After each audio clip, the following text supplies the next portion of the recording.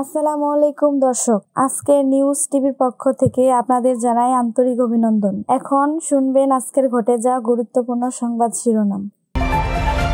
নির্বাচন দেখতে এবার কোরিয়ায় যাচ্ছেন সিওসি আওয়ামী লীগ বেপরোয়া হয়ে উঠেছে অভিযোগ মির্জা ফখরুল। বিএনপির কেন্দ্রীয় নেতা অমিত শাহ কারাগারে একান্ন জন। কোন পথে এগোতে চাইছেন জামায়াত? বাংলাদেশ ভারত সম্পর্কে ইস্যুতে যা বললেন মির্জা আব্বাস। বুয়েটে জঙ্গিবাদের কারখানা হচ্ছে কিনা, খতিয়ে দেখা হবে জানিয়েছে কাদের। এতক্ষণ শুনছিলেন সংবাদ শিরোনাম, এবার বিস্তারিত।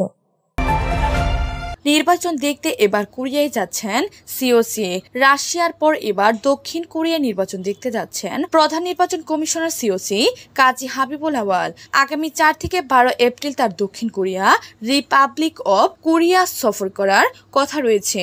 নির্বাচন কমিশন সূত্র জানায়, দক্ষিণ কোরিয়ায় বাইশতম জাতীয় নির্বাচন দেখতে দেশটির সফর করেছেন সিওসি। এই সফরে তার সঙ্গে হবেন এসি সচিব মোহাম্মদ জাহাঙ্গীর আলম এবং সিওসির একান্ত সচিব মোহাম্মদ রিয়াজউদ্দিন। এই সফরে দক্ষিণ কোরিয়ার ন্যাশনাল ইলেকশন কমিশন, বাংলাদেশের নির্বাচন কমিশনের এই দলের থাকা খাওয়া ও অভ্যন্তরীণ যাতায়াতের ব্যবস্থা করবেন। এর আগে কোরিয়ার প্রেসিডেন্ট নির্বাচন পর্যবেক্ষণ করতে তেরো, উনিশ মার্চ রাশিয়া সফরে গিয়েছিলেন সিওসি কাজী হাবিবুল আওয়াল আওয়ামী লীগ বেপরোয়া হয়ে উঠেছে অভিযোগ মির্জা ফখরুলের। আওয়ামী লীগ নিজেদের ক্ষমতা টিকিয়ে রাখতে বিএনপি সহ অন্যান্য বিরোধী দল ও ভিন্ন মতের মানুষের উপর অবিহিত ভাবে দমন পীড়ন চালাচ্ছে বলে অভিযোগ করেছেন বিএনপির মহাসচিব মির্জা ফখরুল ইসলাম আলমগীর। তিনি বলেন, গত সাত জানুয়ারির ডামি নির্বাচনের মাধ্যমে ক্ষমতা দখল করে আওয়ামী লীগ শাসক গোষ্ঠী অতিমাত্রায় বেপরোয়া ও হিংস হয়ে উঠেছে। আজ রোববার গণমাধ্যমে পাঠানো এক বিবৃতিতে মির্জা ফখরুল ইসলাম আলমগীর এসব কথা বলেন। বিবৃতিতে বিএনপির যুগ্ম মহাসচিব হাবিব উন নবী খানের জামিন নামঞ্জুর ও কারাগারে পাঠানো ঘটনায় উদ্বেগ প্রকাশ ও মুক্তি দাবি করেন মির্জা ফখরুল।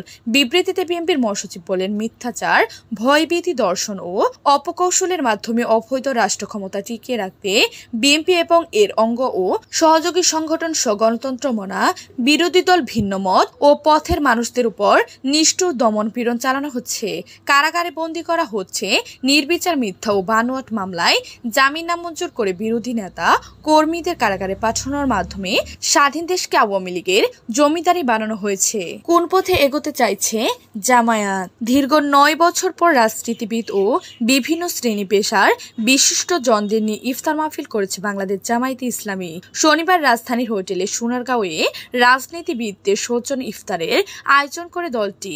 এতে বিএনপি সহ সমমনা দলগুলোর নেতাকর্মী, সাংবাদিক ও সুশীল সমাজের বিশিষ্ট জনতা অংশ নেন। ইফতার পূর্ব সংক্ষিপ্ত বক্তব্যে জামায়াতের আমি ডক্টর রফিকুল রহমান বলেন, বিনা সংগ্রামে মুক্তি আসে না।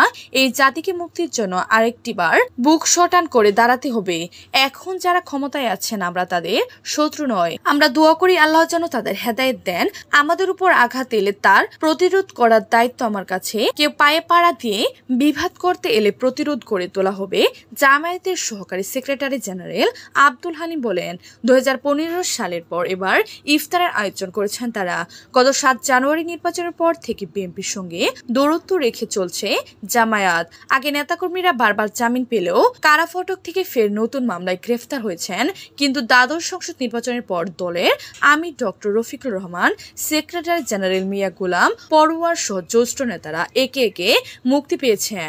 বিএনপির কেন্দ্রীয় নেতা অমিত সহ কারাগারে একান্ন, ঈদের আগে বিএনপির জাতীয় নির্বাহী কমিটির খুলনা বিভাগীয় ভারপ্রাপ্ত সাংগঠনিক সম্পাদক অনিন্দ ইসলাম অমিত সহ যশোর জেলা বিএনপি যুবদল ও ছাত্রদলের একান্ন নেতাকর্মীকে কারাগারে পাঠানোর আদেশ দিয়েছেন আদালত।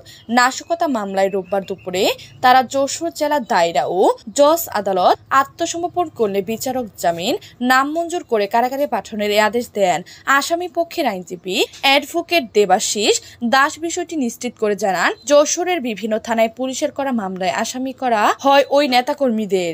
জানা যায় জামিন নামঞ্জুর হয় একান্ন নেতাকর্মীর মধ্যে অমিত ছাড়াও রয়েছে জেলা বিএনপি সদস্য সচিব সৈয়দ সাবিরুল হক সাবু আহ্বায়ক কমিটির সদস্য মুনির আহমেদ সিদ্দিকী, বাচ্চু সদর উপজেলা বিএনপির সাংগঠনিক সম্পাদক আব্দুর রাজ্জাক, জেলা যুবদলের সভাপতি এম তমাল আহমেদ, জেলা ছাত্রদলের সভাপতি রাজিদুর রহমান, সাগর সাধারণ সম্পাদক কামরুজ্জামান বাপ্পি উল্লেখযোগ্য।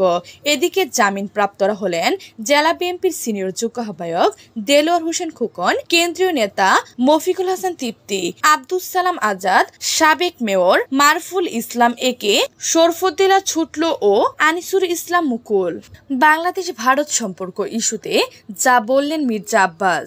বাংলাদেশের সরকার নয়, ভারত এদেশের জনগণের সঙ্গে সম্পর্ক স্থাপন করবে বলে আশা প্রকাশ করেছেন বিএনপি স্থায়ী কমিটির সদস্য মির্জা আব্বাস। তিনি বলেন, আমাদের দুটি সরকারের বিরুদ্ধে লড়াই করতে হচ্ছে।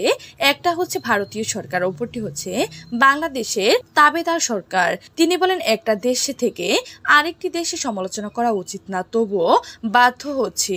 আমরা ভারত সরকারের সমালোচনা করছি, সে দেশের জনগণের নয়। আমরা চাই যে দেশে যে সরকার থাকবে, সে সরকারের উপর দেশের জনগণের সঙ্গে সম্পর্ক থাকবে। সরকারের সঙ্গে সরকারের বন্ধুত্ব নয়। আমরা আশা করব ভারতীয় সরকার এই দেশের জনগণের সঙ্গে সম্পর্ক করবে।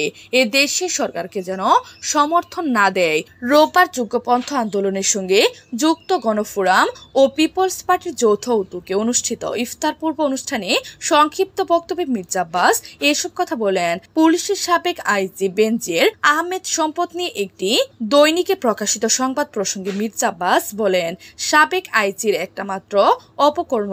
এই আওয়ামী লীগ সরকারের আমলে বাংলাদেশে আরও এরকম লক্ষ লক্ষ কোটি টাকা যারা মানুষের পকেট কেটে নিয়েছে।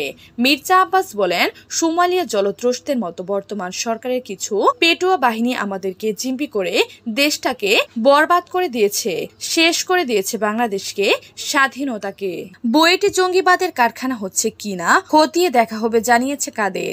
ছাত্র রাজনীতি বন্ধের নামে বুয়েটে জঙ্গিবাদের কারখানায় পরিণত করা হচ্ছে কিনা, সরকার খতিয়ে দেখবে বলে জানিয়েছেন আওয়ামী লীগের সাধারণ সম্পাদক উবায়দুল কাদের। আজ রোববার তেজগাঁও, ঢাকা জেলা আওয়ামী লীগের কার্যালয়ে আওয়ামী লীগের চট্টগ্রাম বিভাগের নেতাদের সঙ্গে মত বিনিময় সভায় তিনি এসব কথা বলেন।